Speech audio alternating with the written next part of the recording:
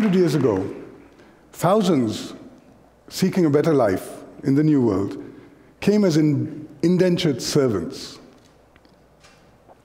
Um, too poor to pay the passage, they got into debt, and in exchange for working up to seven years in bonded labor. Today, 40 million Americans are indebted for their passage to the new economy. Too poor to pay their way through college, they now owe lenders more than 1 trillion US dollars. They too find what jobs they can get to pay off a debt that is secured on their person. In America, even a, a, a bankrupt gambler gets a second chance. But it is nearly impossible for an American to get discharge his student loan debts. Once upon a time in America, going to college did not mean graduating with debt. My friend Paul's father graduated from Colorado State University on the GI Bill. Uh, for his generation, higher education was free or almost free because it was thought of as a public good. Not anymore. When Paul also graduated from Colorado State University, he paid for his English degree with, uh, by working part time. 30 years ago, higher education tuition was affordable, reasonable, and what debts you accumulated you paid off by graduation date. Not anymore. Paul's daughter followed uh, in his footsteps, but with one difference. When she graduated five years ago, it was with a whopping debt.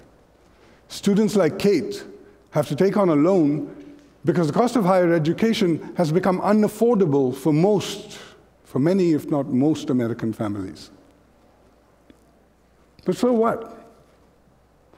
Getting into debt to buy an expensive education is not all bad if you could pay it off with the increased income that you earned from it. But that's where the rubber meets the road.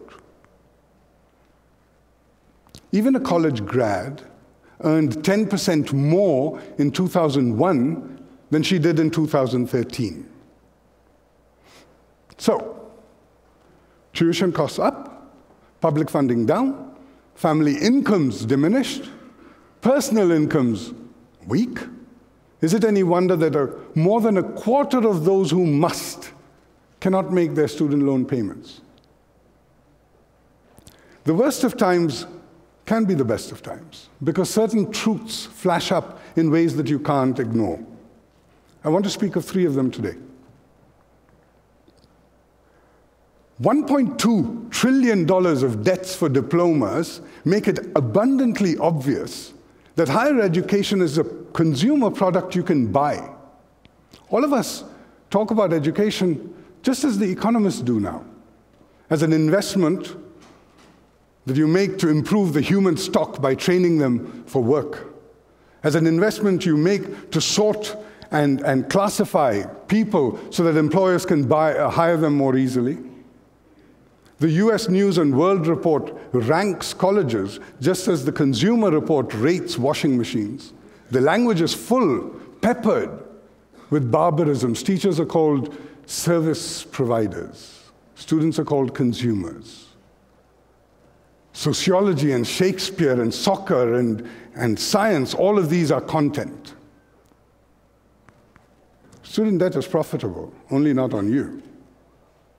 It is your debt fattens the profit of the student loan industry, the two 800 pound gorillas of which, Sallie Mae and Navient, posted last year a combined profit of $1.2 billion.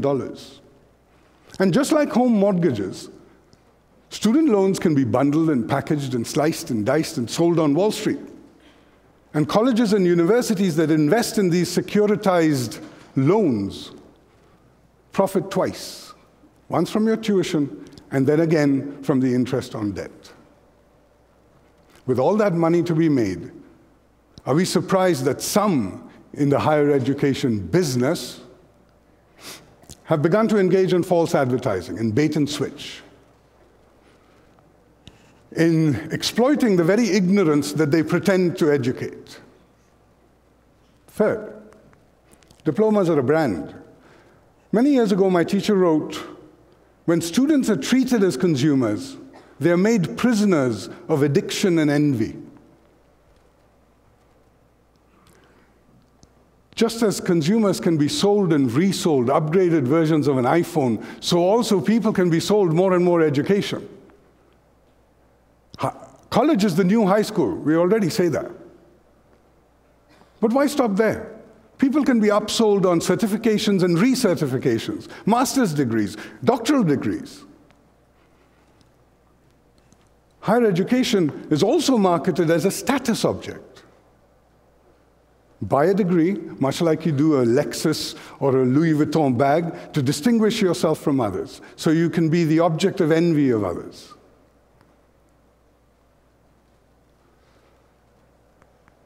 Diplomas are a brand. But these truths are oftentimes hidden by a very noisy sales pitch. There is not a day that goes by without some policy guy standing on the television, sitting on the television telling us a college degree is absolutely essential to get on that up escalator to a middle class life. And the usual evidence offered is the college premium. A college grad who makes, on average, 56% more than a high school grad. Let's look at that number more carefully, because on the face of it, it seems to belie the stories we all hear about college grads working as uh, baristas and, and cashiers. Of 100 people who enroll in any form of post secondary education, 45 do not complete it in a timely fashion for a number of reasons, including financial. Of the 55 that do graduate, two will remain unemployed, and another 18 are underemployed. So, college grads earn more than high school grads, but does it pay for the exorbitant tuition and the lost wages while at college? Now, even economists admit going to college pays off for only those who are completed but that only because high school wages have been cut to the bone for decades now. for decades, workers with a high school degree have been denied a fair share of what they have, been, what they have produced. And had they received, as they should have, then going to college would have been a bad investment for many. College premium, ah, I think it's a high school discount. Two out of three people who enroll are not going to find an adequate job. And the future for them doesn't look particularly promising, in fact, downright bleak. And it is they who are going to suffer the most punishing forms of student debt. And it is they, curiously and sadly, who are marketed most loudly about this college premium thing. That's not just cynical marketing, that's cruel.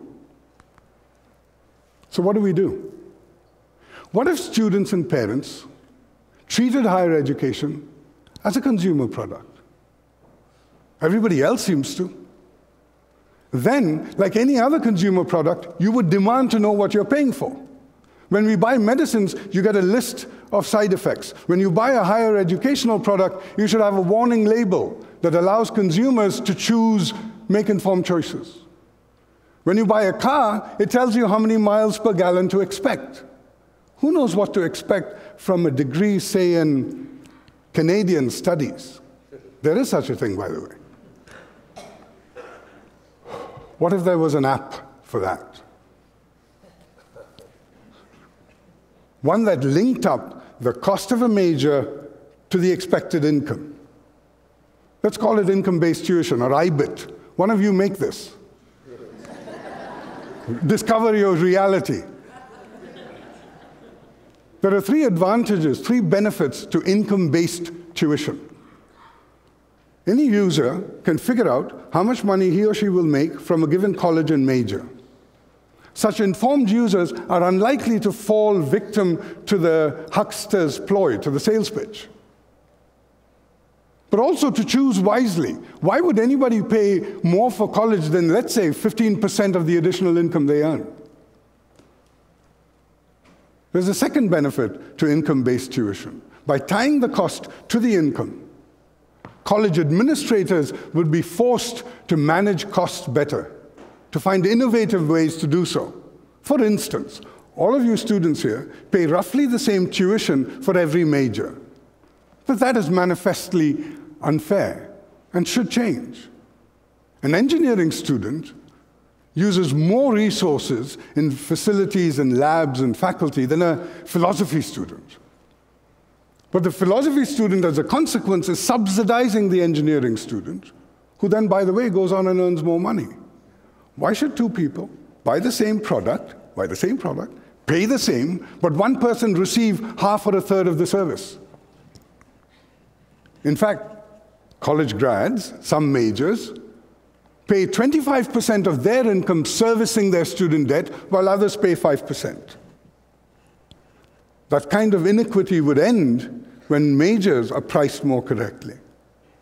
Now, of course, all this data, and one of you are going to do this, right? All this data has to be well designed, maybe audited by public accounting firms to avoid statistical lies. We know about statistics, right?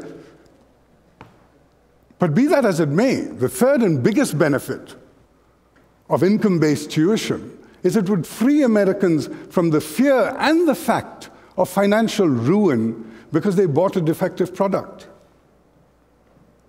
Perhaps in time, young and old Americans may rediscover, as, as, the gentleman said earlier, their curiosity, their love of learning, begin to study what they love, love what they study, follow their passion, get stimulated by their intelligence, follow paths of inquiry that they really, they really want to. After all, it was Eric and Kevin two years ago. Just exactly these kinds of young men who prompted me and worked with me and still do in this study of indebted students in America. Thank you for your attention.